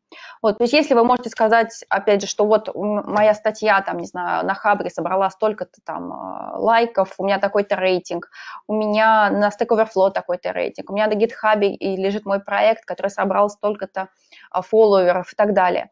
Вот это то, что может быть вашим капиталом в отсутствии как бы опыта, как я уже сказала, коммерческой разработки, которую вы можете предъявлять. Ольга, можно следующий слайд? Вот. А по поводу возраста, да, является ли возраст препятствием для новичка? Вот мы видим такой большой серебряный, ой, сиреневый а, сиреневый круг, 60% работодателей говорят, что возраст не является препятствием. Да? В некоторых случаях, ну, тут 10% говорит, говорит, что не берем, если кандидат моложе 20, 8% говорит, не берем, если кандидат старше 35, но это, в общем, такие какие-то крайние случаи, то есть для большинства работодателей возраст не является препятствием, то есть если вы совсем молодой junior или если вы а, наоборот, а, долго работали в другой какой-то специальности, потом решили переучиться и пойти работать в IT. В общем-то, оба этих случая, они одинаково хороши, и а, при наличии ваших как я уже сказала, классных софт-скиллов, базовых технических знаний, которые вы можете подкрепить чем-то, и там, других достижений, возраст не будет являться для вас препятствием. Ольга, можно следующий слайд? И вот здесь мы видим средний возраст прихода в IT, вот мы видим, что, там, например, администраторы, дизайнеры и разработки, которые работают в играх, их средний возраст прихода в IT – это 20 лет, то есть э, даже кто-то даже приходит раньше. Да. Ну и в целом довольно рано, там в 20, 21, 22 начинают работать в IT в среднем специалисты. Можно следующий слайд. Вот, а немножко подведем итоги этой части, да. То есть а, что, как, как снять те риски, которых мы смотри, которые мы видели в начале, да? показать свой потенциал, а, расскажите о своих достижениях, расскажите, какие трудности вы преодолевали в жизни, как вы это делали, да? покажите, что вы а, готовы это делать и дальше. Да? Поскольку часто джуниор-специалистов сначала, чтобы вот э, минимизировать этот риск, что джуниор-специалист делает какую-то ошибку, которая там, принесет урон проекту, их часто вначале ставят на какие-то более скучные, менее важные задачи, да, покажите, что вы к этому готовы, что вы к этому хорошо относитесь, что, вы, что вас это не пугает, там, не, что вы готовы любые задачи делать там, с, с огоньком и хорошо. Обязательно покажите, что вы очень хотите учиться, это важно, да, то есть даже если у вас сейчас ваши базовые технические знания совсем базовые, да, совсем такие, что у вас есть потенциал, что вы готовы много-много учиться. А, Все расскажите про ваше образование. Иногда даже ваше образование не профильное тоже может быть как бы ну, плюсом, потому что оно по каким-то причинам подходит работодателю. Да? Ну, потому что бывают когда ситуации, когда люди работали какой-то финансовой сфере, потом пошли в IT, а, получили какое-то образование в IT, пошли трудоустраиваться и пошли трудоустраиваться в какую-то финансовую организацию, страховую, там, банк и так далее. И там их, например, финансовый бэкграунд только плюс, потому что они понимают специфику. Бывают другие ситуации, когда ваше какое-то, может быть, даже, казалось бы, далекое от IT-образования может быть а, вам только помощью при трудоустройстве. Да, постарайтесь показать, что вы готовы с этой компанией жить долго, да, что вы не уйдете через три месяца, когда вы приобретете какой-то первый начальный опыт. Обязательно да, покажите, э, постарайтесь свои софт-скиллы показать с хорошей стороны, и, ну вот, если у вас есть какой-то опыт э, в да, то вот в IT-сообществах, и он позитивный, да, сообщество вас хорошо оценило, ваши там какие-то проекты или, или статьи, или другой, друг, друг, другую вашу интеллектуальную продукцию, да, это очень хорошо, это для вас плюс. Ольга, можно следующий слайд? Теперь давайте поговорим немножко про другую, обратную сторону, как выбрать работодателя, потому что вы выходите на рынок, и, э, может быть, э, не всегда, не всегда понятно, куда идти и на что ориентироваться. Ну, во-первых, э, важно много, как бы, погрузиться в этот рынок, да, то есть, ну, что я могу посоветовать? Могу посоветовать читать Хабр, естественно, на Хабре есть блоги топовых компаний, есть статьи по той тематике, которая вас интересует, интервью с работодателями, в том числе те, которые мы, например, проводим, Хабр Карьера, проводит интервью с интересными работодателями, публикует их на Хабре. Ходите на метапы и на конференции, сейчас это сложно, потому что в общем, все ушло, с одной стороны, стало сложнее, все ушло в онлайн, да, это не так удобно, нет возможности там поговорить в кулуарах с там, коллегами и так далее. С другой стороны, в чем стало проще, потому что все в онлайне, проще добраться для, до любых мероприятий, да, не нужно куда-то идти, ехать в другой город и так далее. Можно следующий слайд? Ну, вот это просто примеры некоторых компаний, которые ведут свои блоги своих компаний на Хабре, то есть можно прям погрузиться, э, почувствовать атмосферу там, как в Яндексе, не знаю, в Ланите, в Татуру, да, то есть просто посмотреть, а, чем они занимаются, их собственные сотрудники пишут статьи для их вот этих блогов, которые они ведут на Хабре, можно просто задать какие-то вопросы в комментариях, которые вас интересуют, с кем-то познакомиться, с представителем компании. В общем, а, почувствовать вот эту некоторую атмосферу. Можно следующий слайд? Ну, это только маленькая, маленькая часть, конечно, которую я смогла на, на этот слайд вставить. На самом деле там их есть намного, намного, намного больше. Да, обязательно изучайте отзывы сотрудников в компаниях, ну, то есть отзывы их текущих сотрудников, там, бывших сотрудников. Потому что, ну, как правило, э, у нас такой принцип, что нет плохих компаний, просто есть компании и сотрудники, которые друг другу не подходят. Потому что э, вы ориентированы на какие-то ценности, и у вас есть какие-то цели, компания ориентирована на какие-то ценности, и важно, чтобы вы в этом совпали, да, чтобы вам друг, с друг другом было комфортно. Вот, поэтому ищ, пытайтесь понять, как устроена компания, ищите тех, кто вам подходит. Можно следующий слайд? Вот это вот кусочек из э, оценки э, компании JetBrains у нас на сервисе. Вот видите, здесь эм, ее сотрудники оценивают разные параметры, насколько там интересные задачи, насколько там э, возможен карьерный рост, насколько хорошие отношения с коллегами и так далее. И также вот пишут какие-то ну, текстовые комментарии, я смогла только маленький сюда вставить коротенький, но бывает, что прямо большие-большие там целый экран целый экран написанный комментарий, например, там с разных точек зрения, рассматривающий опыт работы сотрудников компании. Вы можете все это с, вот, с такими вещами вы можете знакомиться и вот как бы понимать, насколько то, то, что человек вам пишет, вам близко, насколько вам это подходит, насколько вам эта компания нравится. Следующий слайд можно? А, да, следите за рейтингами работодателей. Понятно, что это ну, не, не, не универсальный инструмент, и бывают какие-то... Не, не всегда понятно, там, почему компания, например, далее на вышла в рейтинг, а, может быть, а, какие-то вопросы возникать, да, может быть, какая-то ангажированность в этом присутствует, но, с другой стороны, как минимум стоит присмотреться к тем компаниям, которые находятся там в десятке, в двадцатке. Вот, а, может быть, там сложно сказать, почему компания одна на четвертом месте, другая на пятом, но то, что они попали там в десятку, в двадцатку, это уже много о них говорит. Может, следующий слайд?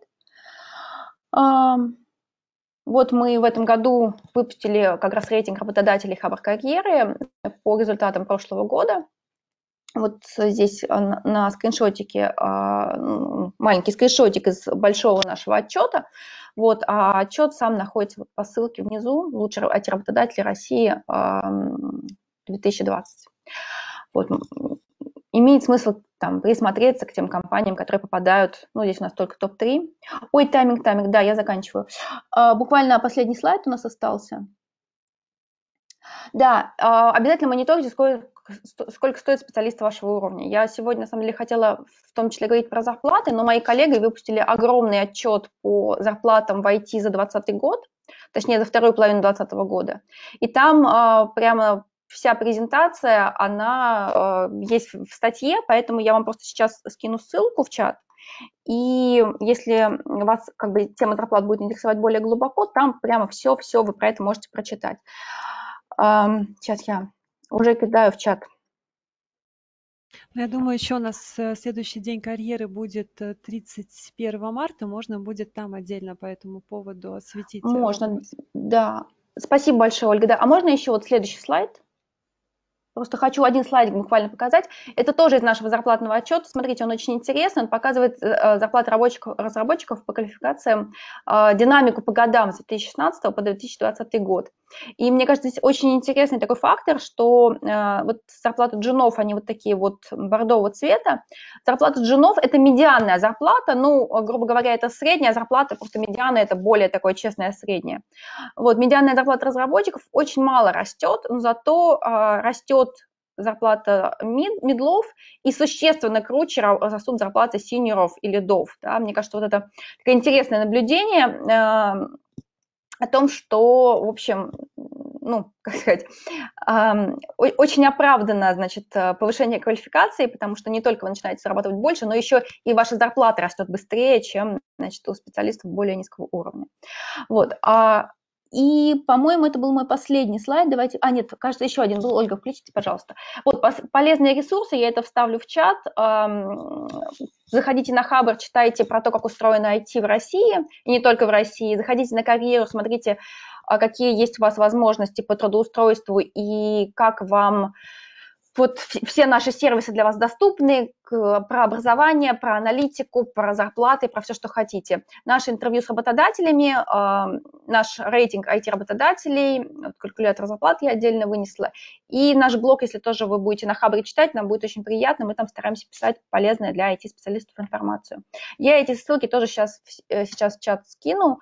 Спасибо большое за ваше внимание.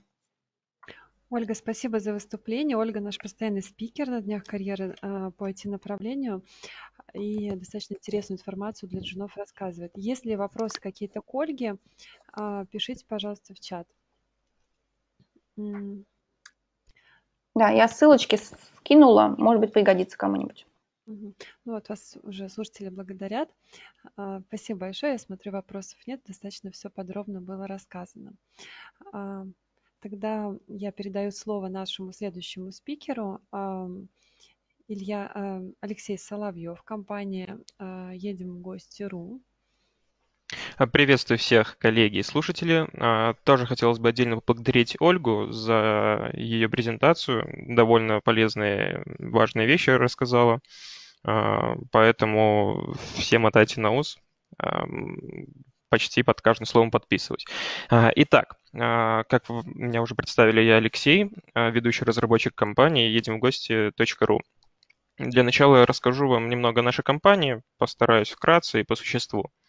А, на текущий момент в компании на постоянной основе трудится более 100 человек, а, и офисы нашей компании расположены в нескольких городах. А, в Санкт-Петербурге, в Минске, в Анапе, и основной, Сочи, основной офис сейчас располагается в Сочи. Итак, чем же наш коллектив сейчас занимается? А, в 2017 году был создан сервис э, под названием, возможно, самые внимательные из вас догадались, едем в гости.ру. Итак, э, пару слов о нашем сервисе. Э, в 2017 году проект «Едем в гости.ру» начал свою работу и уже в первый год работы обеспечил своим клиентам более 100 тысяч бронирований. Сейчас «Едем в гости.ру» — это самый крупный отечественный классифайт, каталог гостевых объектов, доска объявлений по гостиницам и жилью в Российской Федерации, сохраняющие темпы прироста объектов на уровне 30% в год.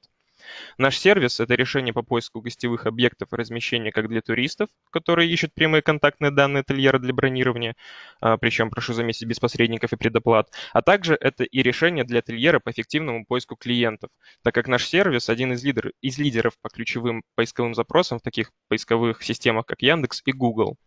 А, в 2019 году, наряду с несколькими другими российскими сервисами, мы успешно заменили Booking Com, если вам известно, известен этот сервис, думаю, многие из вас слышали, по крайней мере, про него, а, в Крыму.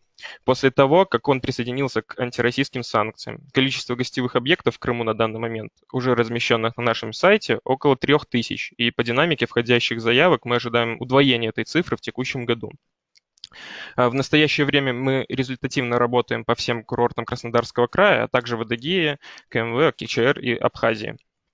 В ближайшее время начинаем экспансивный набор объектов в Карелии, Ленинградской области, Алтае и на горнолыжных курортах страны в Абзаково, Донбае и так далее.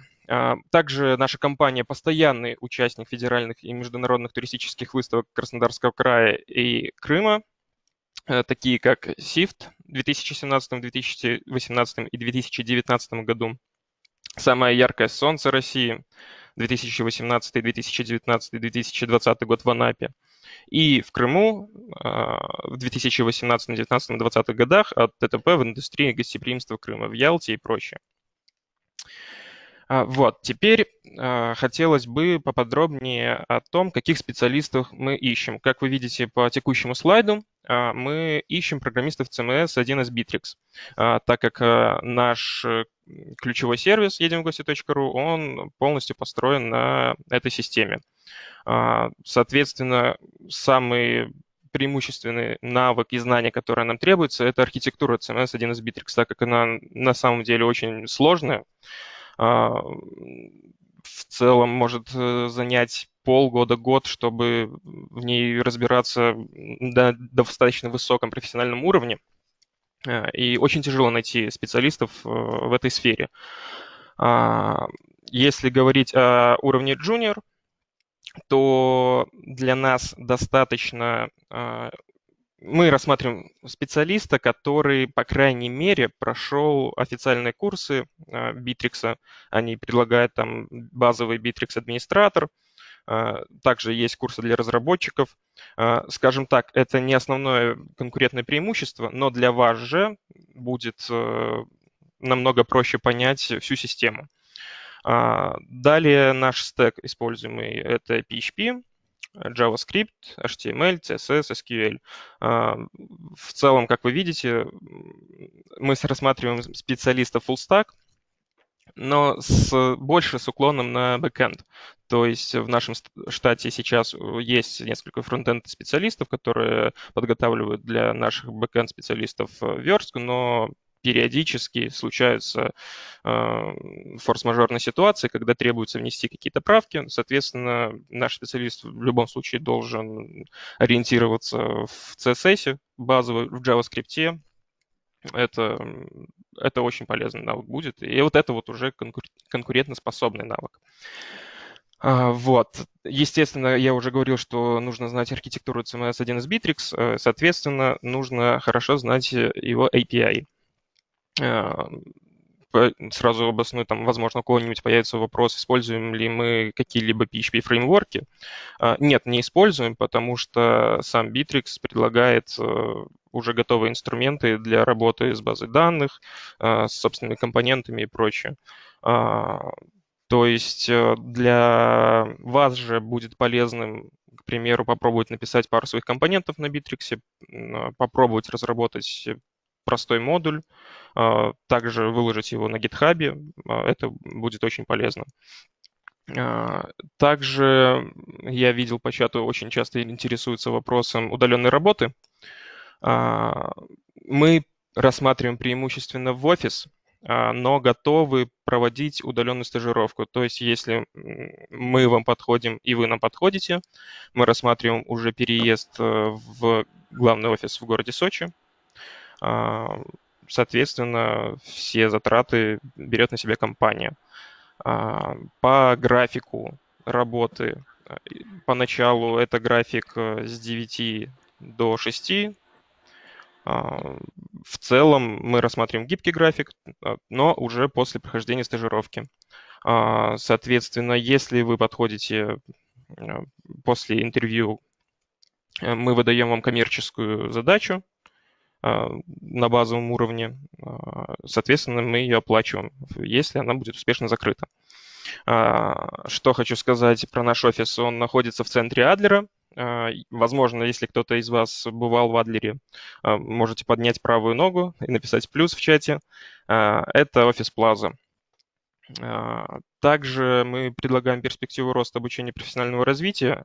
В нашем штате сейчас на текущий момент три специалиста с опытом работы более 10 лет, а, потому, соответственно, мы готовы развивать в вас же профессиональные навыки и ждем ваши вакансии. Ой, ждем ваше резюме. Господи, боже мой, извиняюсь. А, итак, тут на последнем слайде вы видите наши планы на будущее. То есть а, сейчас, опять же, у нас три разработчика с опытом больше 10 лет, один начинающий разработчик. На текущий момент мы собираемся расширить наш штат до 10 программистов. А, так как планы очень большие, работы очень много, а, четыре имеющихся специалиста не справляются. Также планы компании по росту в три раза по трафику и выручке. Ну, то есть вы уже видели на предыдущих слайдах, каждый год что и выручка, что и клиенты возрастают на 30%, это как минимум. Поэтому мы не стоим на месте и ждем талантливых специалистов. А, снизу вы видите контакты нашего генерального директора. Если среди вас есть очень смелые люди, можете сразу напрямую писать генеральному директору. Но через пару минут э, я в чат э, оставлю свои комментарии, о, свои контактные данные и контактные данные э, HR-отдела. Спасибо за внимание. Алексей, спасибо большое. А, есть ли вопросы слушателей?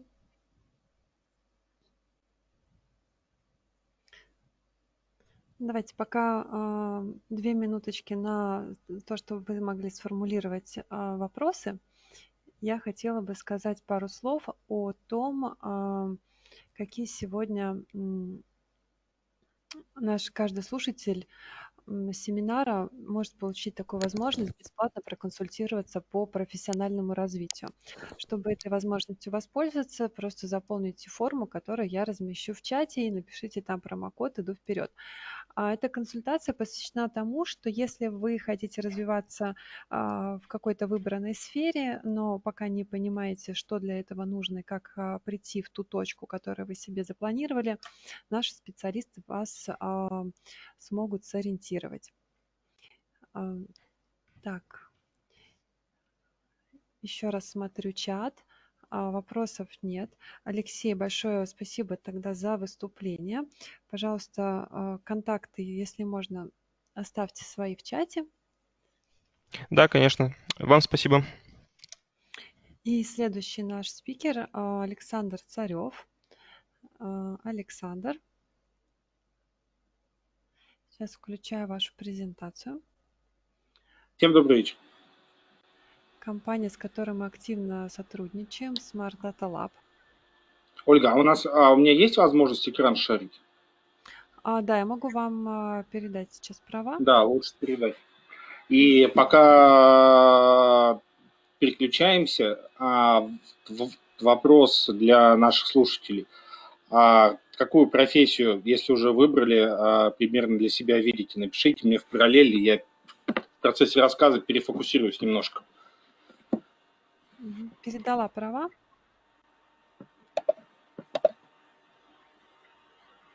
Java, аналитик.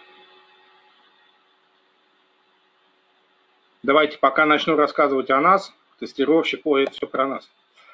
А, пока начну рассказывать, а дальше, соответственно, а, вернусь немножко.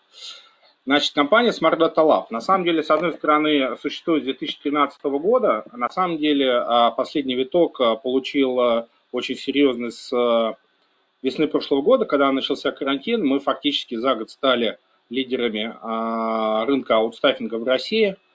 Основной наш клиент это Сбербанк, но тем не менее клиентов достаточно много. Можно посмотреть у нас на сайте. Это международная аутстаффинговая компания Андерсон, это типа ЕПАМа. А, РЖД медицина и РЖД, наш партнер это Корус Консалтинг, а, один из последних клиентов это Ренессанс Капитал, а, наши ребята в конкурсах там активно различных международных участвуют и так далее, тут далеко не все. Значит, чем мы занимаемся? Ну, если говорить по стеку, мы начинали с BI, соответственно, первый у нас это был Power BI, где мы стали фактически совсем прям лидерами – а, и а, за прошлый год а, так либо иначе через нашу компанию прошло больше 300 людей. А, что имею в виду под тем, что а, прошло, они прошли либо стажировки, либо еще что-то, и мы только поддерживаем, чтобы люди развивались дальше. Если в моменте нет загрузки для человека, то люди обычно находят себе а, более хорошую работу и подключаются к нам либо на проектный, либо на частичную занятость, либо когда, соответственно, приходит какой-то крупный проект, то переходит. То есть мы совсем гибкие в этом плане. Второе, чем мы занимались очень активно, это клик. И по клику мы ну, пока не обогнали, может быть, исторических лидеров рынка, но во всяком случае у нас сейчас очень большая команда, а, человек по 20 именно таких серьезных профи и а, достаточно большое количество поддержки для специалистов и запросов со стороны наших клиентов. По стеку технологий, что мы еще используем? Мы работаем с Teradata для построения аналитических хранилищ, различные решения SAP, в том числе BO, BV, а, весь стек Microsoft, вплоть до Azure ML и так далее. Есть у нас заказы по табло, но как бы я считаю, что табло это уходящий такой а, немножко uh, уходящая немножко BI-система. Она действительно так свои позиции на рынке потихоньку отпускает. А занимаемся гринпламом, а занимаемся информатикой.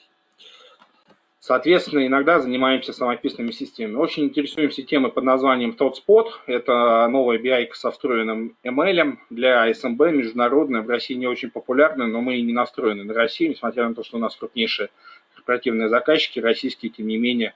Мы очень активно смотрим в мир и, в общем-то, готовим базу для того, чтобы а, активно пойти именно туда, потому что основной бум происходит именно на том рынке. Сейчас немножко переключусь расскажу про нас с другой стороны. Бизнес Intelligence на самом деле а, основное направление 2020 года, которое именно рвануло очень вперед. А, в 2021 году ожидается, что опять будет очередной а, виток ML, но посмотрим. То есть я пока не вижу этого на российском рынке, но точно вижу на международном, но тут как бы коронавирус немножко вмешался. В 10 раз нехватка а, специалистов на рынке, особенно архитекторов, особенно старших специалистов, вот прям совсем там только я, несмотря на то, что там владелец компании фактически получает там по 5, 6, 7 предложений о работе так от 300 до 600 тысяч в день, как говорится, как специалист, но тем не менее я понял, что важнее делать команду и э, выступать нам как единое целое. Поэтому нехватка чувствуется и очень сильно. А, только два клиента а, ВТБ и Сбер за 2020 год а, разыграли конкурсов на там общую сумму практически 20 миллиардов, и мы в этом очень активно участвуем. Мы не очень любим работать с ВТБ по разным причинам, сейчас не будем останавливаться почему, но мы прям очень плотно работаем со Сбербанком, и Сбербанк просто готов сметать все ресурсы на рынке. А, и на самом деле а, есть очень хорошая база для того, чтобы пойти в мир, потому что BI и аналитика данных, построение аналитических хранилищ – это про а, классическую математическую школу а, и а, программистскую, которая вот еще Советского Союза в странах СНГ, в первую очередь в России, во вторую очередь в Беларуси, и в третью очередь на Украине тоже там плюс, плюс-минус очень сильна. И поэтому BI прям очень хорошо ложится.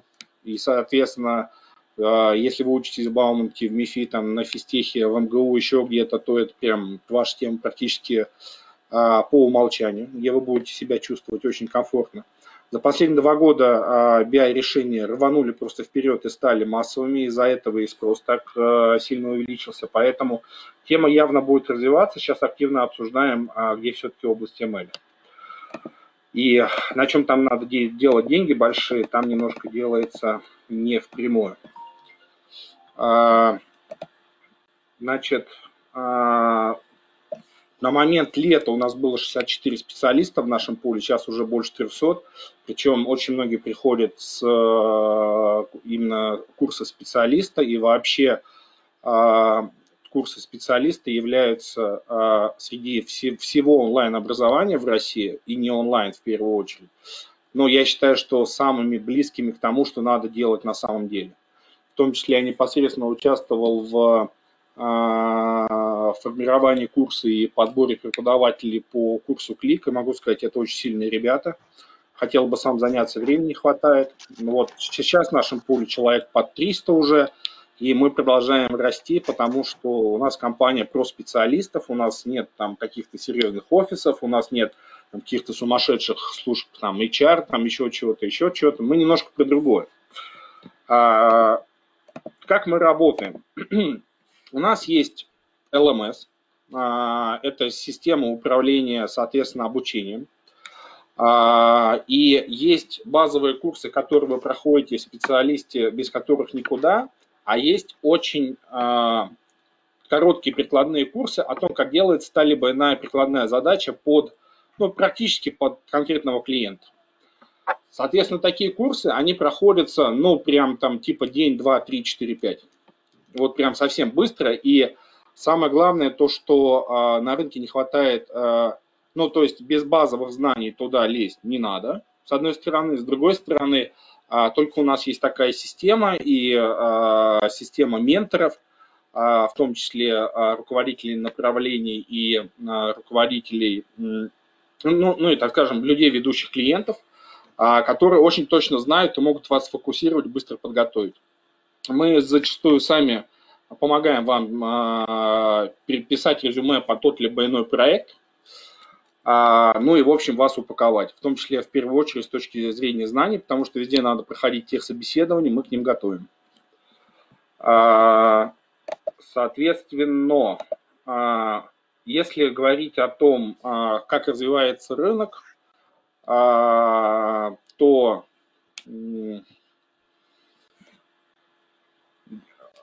проекты не остановились, а только ускорились. Есть ожидания участников рынка о том, что этот рынок в России может скакнуть в этом году раз в 10, но опять же здесь немножко накладывается коронавирус и как бы не совсем понятно, может быть э, небольшой лак, но тем не менее в прошлом году очень хорошо чувствовалось, что действительно он может еще в 10 раз рвануть, были бы люди. И BI э, сейчас нужен просто откровенно всем. А, соответственно, немножко могу рассказать про опыт, а, который нам удалось э, накопить с точки зрения реализации конкретных проектов. А, очень часто бывает так, что задачу ставят технари для технарей, и в конечном итоге, как я это называю, в BI происходит блеск и нищета BI-технологий взяли данные, что-то, какие-то построили срезы, сделали какие-то дашборды, а потом бизнес говорит, слушайте, а что это и зачем это надо? На самом деле намного более правильный подход это когда сначала э, вступают э, те, кто занимается стратегическим консалтингом, те, кто понимает бизнес. Они глубоко продумывают, что же все-таки и как считать, а потом рисуются предварительные дизайны, и только потом дается задача BI-разработчику, и тогда BI-разработчик не думает, не ломает голову о том, как, соответственно, что делать, а просто быстро а, и эффективно а, использует свои навыки. Ну и в итоге просто атмосфера чуть другая в коллективе а, получается. Поэтому накопили определенную культуру, мы позитивную, в компаниях она в основном такая достаточно сложная, и э, мы в первую очередь очень быстро перекидываем людей с проекта на проект, если они этого хотят, и стараемся всегда поддерживать так, так называемый good mood, хорошее настроение у людей, потому что это действительно одна из немногих тем, которые э, приносят удовольствие, когда у вас все получается, все красиво, и э, главное, что вас ценят. А, есть некоторые другие а, платформы, которые чем-то на нас похожи, но вот мы не нашли ни одной компании, которая бы была, ну, работала бы таким же образом. Мы а, сколковская компания, поэтому в различных тендерах мы вне конкуренции за счет, в том числе, сколковских льгот, но не только. Как я уже говорил, у нас нет там серьезных каких-то своих расходов, и мы стараемся максимизировать прибыль именно наших специалистов, а это главный ресурс на этом рынке. Мы готовим постоянно новых специалистов, поэтому э, люди быстро превращаются в руководителей, ну, в тем лидов фактически, и начинают э, зарабатывать еще и за счет э, команды. Э, и мы э, стараемся э, очень активно использовать для интерпретации данных, для их распознавания и так далее. BI – это чаще всего работа с данными – узкоспециализированные, но очень эффективные решения в области машин-лернинга, чем у нас занимаются отдельные люди, из-за этого у нас зачастую проекты идут просто в разы быстрее. То есть мы стараемся минимизировать время, сколько люди занимаются копанием в данных. Работаем с разными школами, но в первую очередь это специалист с точки зрения профессионализма. Команда у нас уже как видите, очень большая, там около 300 человек.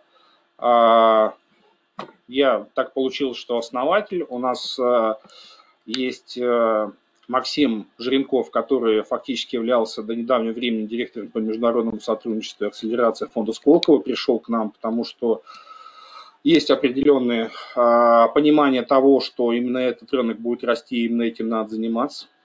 Значит, у нас есть очень мощные архитекторы, а, как, например, Сергей Земсков, а, человек, который вас всегда поддержит, всегда поможет, и человек, с которым а, я в сумме за последние некоторое время а, попреподавал во всех онлайн и не онлайн школах, и я посмотрел, где что, как и происходит, то есть очень многие курсы, которые вы видели, если видели там где-то в интернете, готовили, скорее всего, мы. А, есть Ярослав Полтавский, а, который у нас возглавляет R&D, а по факту это один из самых известных людей на рынке консалтинга по практике SAP. И, в принципе, он там с 2005 года больше 50 проектов по SAP внедрил, причем все успешно, что вообще очень большая редкость для этого рынка. SAPские проекты вообще очень сложные. Есть у нас дополнительные члены команды, там, Александр Лалетин, это позже можно будет с ними э, познакомиться, если решите с нами поработать. Значит, с нами, а, у нас нет такого, что у нас какие-то а, собеседования и так далее, и так далее.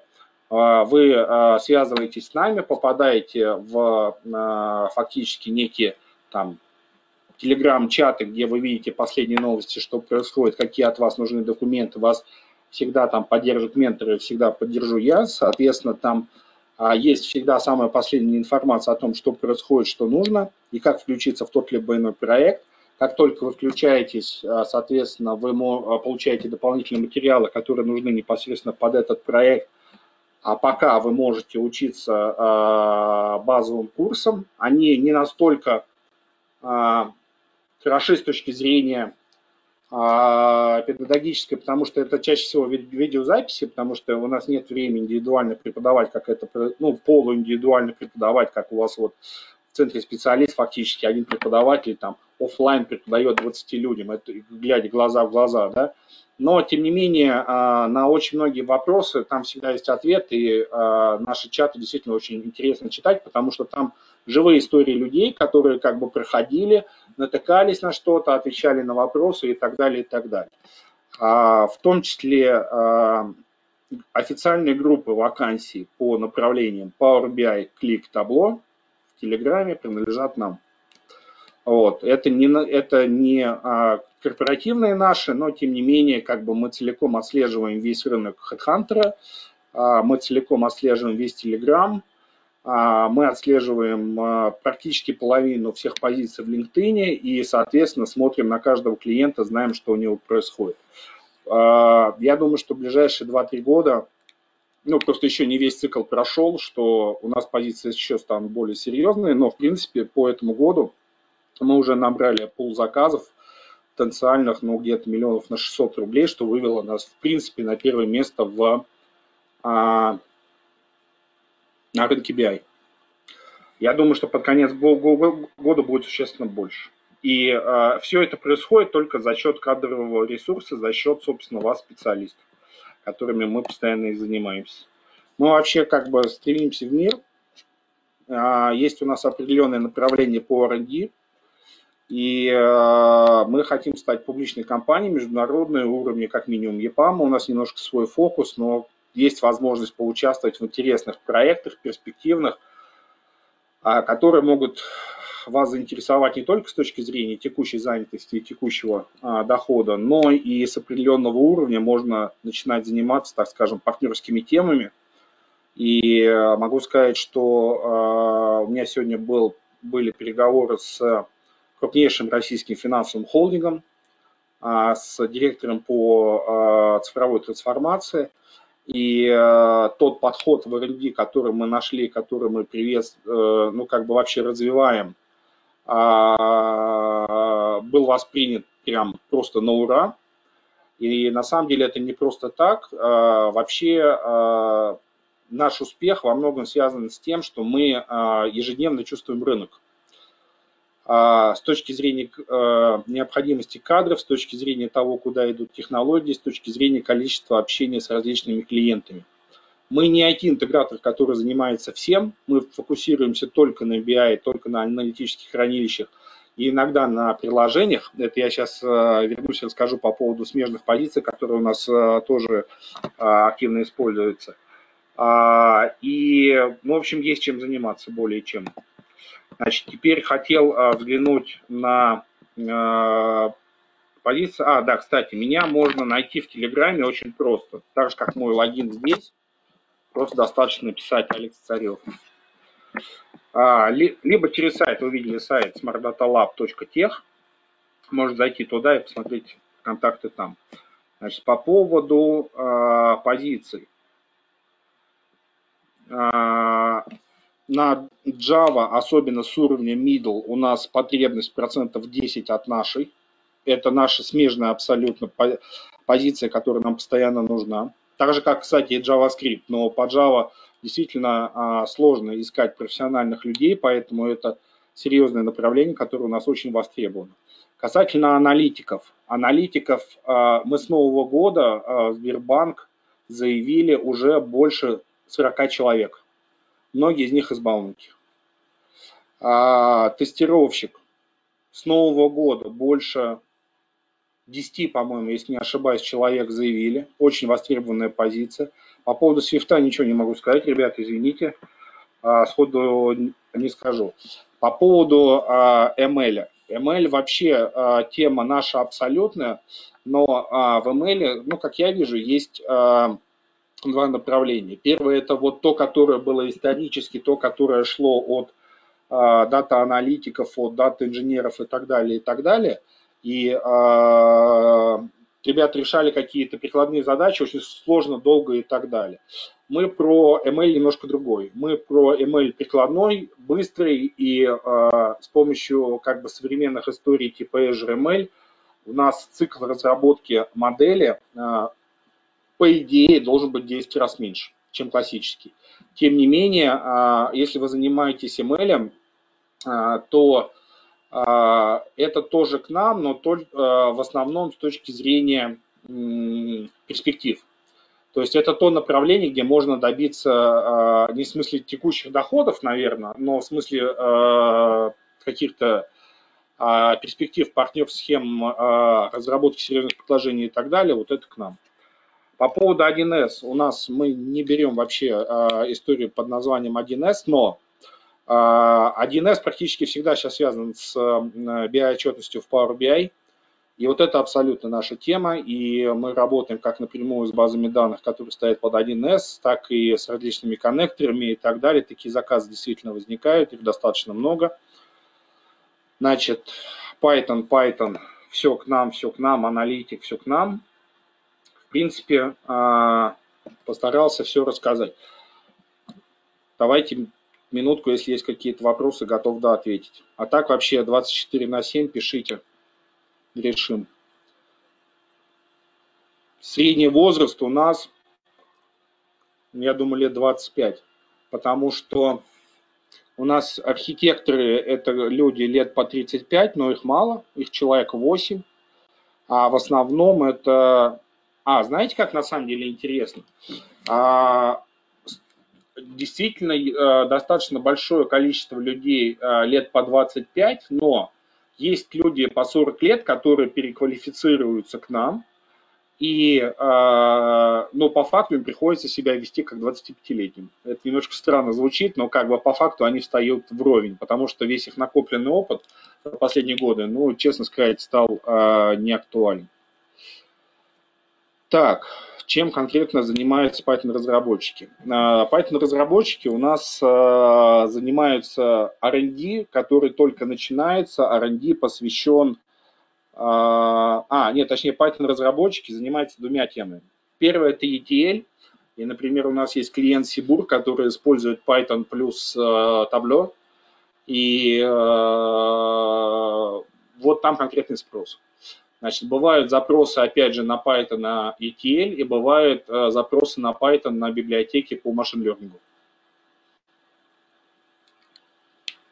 Но есть вот это перспективное направление по R&D, которым можно заниматься пока в свободное время, но я боюсь, что те, кто сейчас к нему подключится, очень скоро для вас это станет основное направление. Но это, в общем, отдельная история, за 3 секунды не расскажешь. Мы занимаемся автоматической разметкой данных. То есть мы э, планируем использовать машин learning для того, чтобы а, ну, я так общими словами скажу пока, в этом надо действительно глубоко а, копаться, но а, используем для того, чтобы, придя в любую компанию, посмотрев на тот, я это условно скажу, Data Lake, а на самом деле набор просто баз данных, которые у них есть, сразу выстроить определенную архитектуру аналитического хранилища и не доставая данные непосредственно из каждой из баз, оставляя ее там, фактически э, очень быстро подтягивать то, что нам нужно для управления тем либо иным предприятием, той либо иной компанией, э, и э, на базе этого делать наше любимое дело дашборды. Вот. Всем спасибо. Вроде вопросы пока кончились. Если что, я на связи. Так, Александр, а вот на вопрос «сейчас учусь на Java разработчика», немного Да. сидел на C-Sharp. Вот на этот мы ответили вопрос? Нет, не ответил. А, Значит, по поводу а, Java и C-Sharp. Тут дело а, заключается вот в чем. Значит, у нас есть спрос не на C-Sharp, а на TypeScript. Но сами понимаете, что вещи две абсолютно связаны, и спрос на TypeScript, как ни странно, очень большой, потому что все а, индивидуальные визуализации а, в Power BI, а Power BI основное BI решение делаются на TypeScript. Поэтому если вы а, специалист C-Sharp немножко доучитесь в а, TypeScript, будет супер. По поводу Java, это классическая Java разработка ПО. Соответственно, если закончить курс, то Я бы сказал так. а, Наверное, а, в смысле текущей занятости это не к нам, но а, в смысле, ну, потому что нужно а, на, на джавистов все-таки а, спрос начинается с уровня senior, а мы пока не умеем именно по Java направлению доводить до senior. Но это пока. Я думаю, во-первых, это исправится через месяц, через два, поэтому надо быть в пуле, надо смотреть наши как бы курсы, которые вокруг, а, и не фокусироваться только на одном решении. Вы посмотрите, какой у нас широкий стек, именно из-за этого мы так и востребованы. Он, с одной стороны, очень сфокусированный на BI и дата-аналитике, а с другой стороны, он очень широкий. Поэтому я советую тоже не фокусироваться только на а, Java, а все-таки э, смотреть вокруг, и тогда будете намного более востребованы, в том числе для нас. А мы поможем. Александр, а можете еще вот а, свои контакты, да, а, м, э, Ну, Телеграм, смотрите, Александр Царев, очень, Телеграм да, есть в чате. вот, очень простой. Либо смотрите наш сайт, там есть и телефон мой, и, и, все что угодно.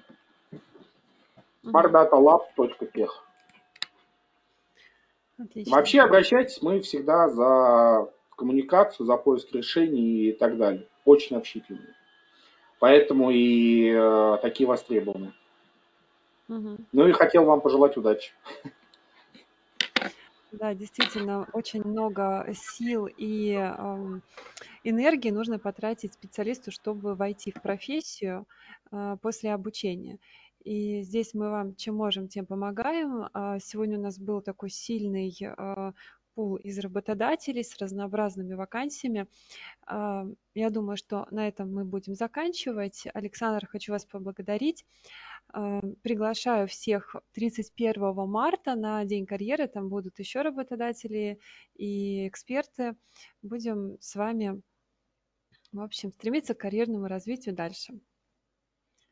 Спасибо всем большое, что приняли участие. Спасибо большое что, э, за ваши благодарности. Э, если что, вы можете пересмотреть э, запись, которая будет в личном кабинете, и на нашем YouTube-канале.